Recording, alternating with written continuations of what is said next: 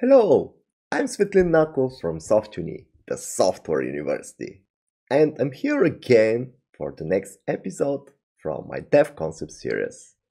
In the previous episode, we reviewed what React.js is and how it can be used to build front-end apps which run inside the web browser. Today, I'll focus on the modern mobile app development technologies like React Native, and we'll talk about how to build an app which runs on your mobile phone. I'll review the technologies, platforms, tools, and programming languages for building Android and iOS mobile apps. I'll explain the main approaches to building mobile apps like native Android apps, which are written in Java or Kotlin and based on the Android SDK, native iOS apps, which are written in Swift or Objective-C and are based on the iOS SDK. Hybrid mobile apps written in JavaScript based on the web UI frameworks and technologies like HTML and CSI, CSS uh, and some frameworks for hybrid apps like Cordova. Also, native JavaScript mobile apps, which are slightly different than the hybrid mobile apps because they are also written in JavaScript, but they are based on the native device UI controls and frameworks like React Native. And some other uh, mobile app development technologies, which I will mention, uh, will be like Xamarin, Flutters, and others. Finally, I'll show you a small, a small live code example of React Native mobile app which is a very simple app to zoom to numbers and it will run natively on Android and iOS. With this demo, I will explain and demonstrate how to create an app once and deploy it on Android and iOS from a single code base. So you write once and run on several mobile platforms from the same code. Okay, are you ready? Let's start. Mobile apps are an important branch of front-end and client-side app development. Building mobile apps combines mobile development principles, concepts, platforms, technologies, frameworks, libraries, and tools. Two major mobile app platforms dominate the smartphone and mobile device markets, Android and iOS. Android is more popular uh, and devices are less expensive compared to iOS devices. Developers have more freedom and options, and most apps are free or follow a freemium model. iOS is slightly less popular but still very big. Devices are more expensive, but the market is more profitable because most apps follow a paid model. Mobile app development technologies are divided into several categories. Uh, Android native mobile apps. Native Android apps are created specifically for the Android platform, which is maintained by Google. They are based on Java or Kotlin as programming languages, Android SDK as development toolset, Android Studio as development environment, plus some specialized tools like Android emulators, uh, simulators, remote debugging tools, and others. Advantages of the Android apps, uh, native apps, are that they are native and use directly the Android platform. It's APIs, it's programming model, it's UI controls, and the apps behave more natively and are fast. Disadvantages are that you need to learn the Android platform and you cannot adapt the native Android app for iOS. iOS native mobile apps. Native iOS apps are created specifically for the Apple iOS platform. Uh, they are based on Swift or the other, other Objective-C as programming languages, iOS SDK as development toolset, Xcode as development environment, and some specialized tools like device simulators, remote debugging tools, and others. As a rule, to develop iOS app, you need a Mac machine you cannot develop iOS apps from Windows or Linux or Linux, or at least officially.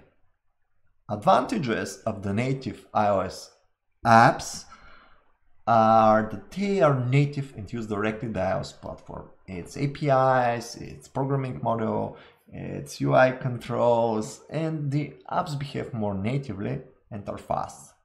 Disadvantages are that you need to learn the iOS platform, you need to have a Mac computer, and you cannot adapt the native iOS apps for Android.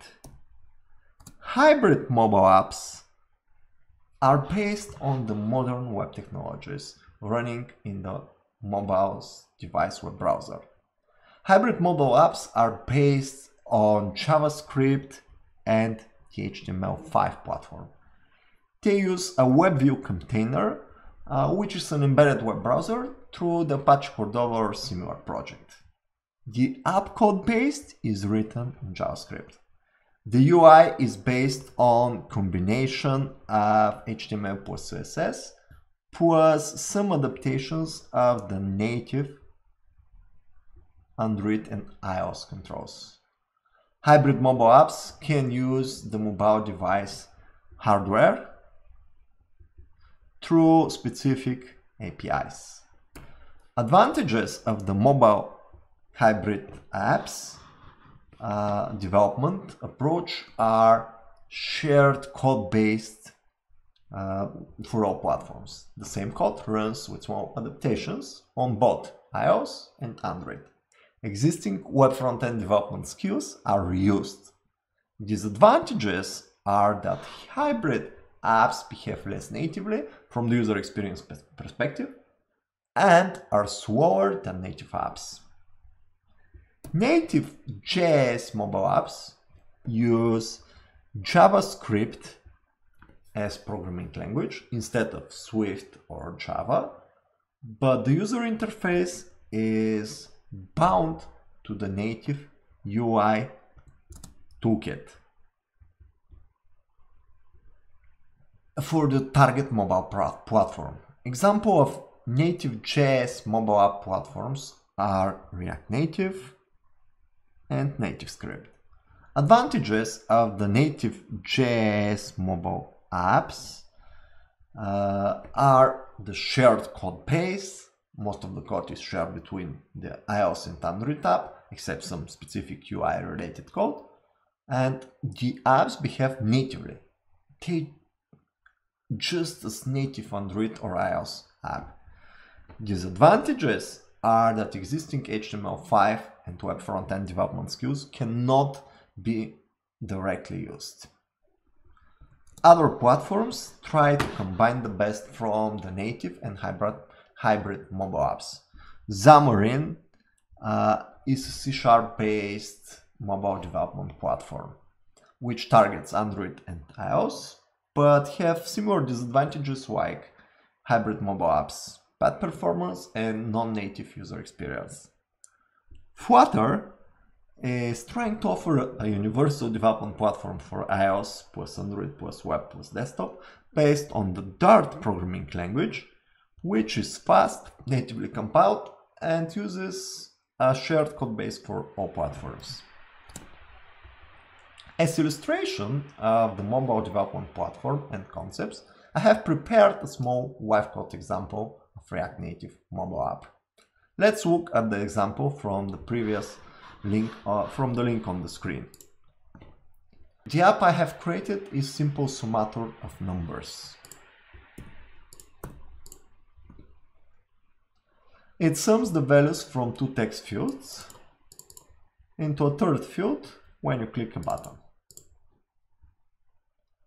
As you can see from the code on the screen, React Native apps are written in JavaScript. Uh, following the React programming model with uh, JSX components, but using universal cross-platform UI uh, controls, which are bound, bound to the native iOS and Android UI toolkits for better performance.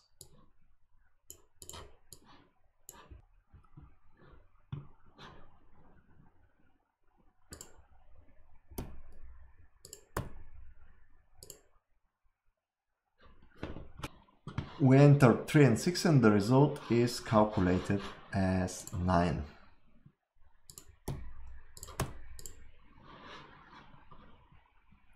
I will skip explaining the code, it's not important now. The important concept here is that developers can build mobile apps in JavaScript using their React skills with some adaptation for the mobile platforms. And once they learn front-end development concepts and technologies like Angular and React, they can use these skills for different platforms, web, desktops, and mobile. Did you like this lesson? Do you want more? Join the learners community at softuni.org.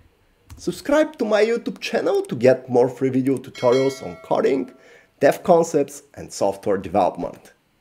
Get access to more free dev lessons and learning resources for developers. Get free help from mentors and meet other learners. And it's all free, so join now, softuni.org.